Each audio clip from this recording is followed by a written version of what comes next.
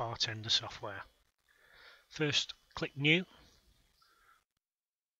and then select Blank Template, and Next.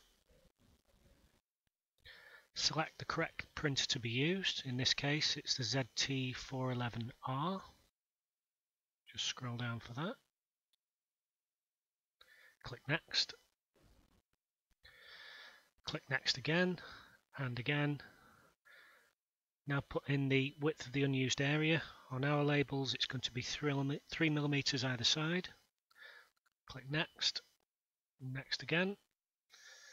Enter our label width which is 100 by 40 click next check that that's right and then click finish we will now have the label format on the screen um, first off we'll put some sample text onto the screen just as an example so we can see it actually prints as well as doing the encoding stretch that to the size you require you'll see the uh, the lines appear just to tell you that it's centralized.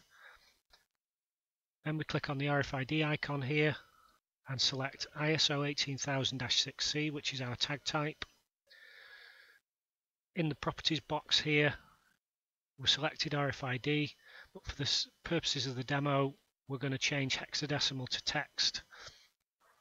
And under sample text and data source, we'll put in some sample data. I'm just putting ABC123.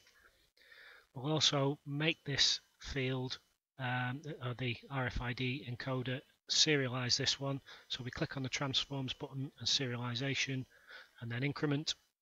Click OK. And now what will happen is each time a tag is encoded, uh, the number will change. Uh, we click close on that, and then click print select how many labels we want to print. Just do three for the uh, for the for the demo. I'm just going to click preview because my printer's not connected at the moment. Click preview. Now we see we've got three labels.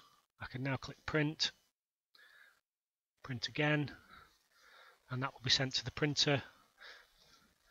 Once the labels come out of the printer, uh, you can tear them off and then check them with the scanner.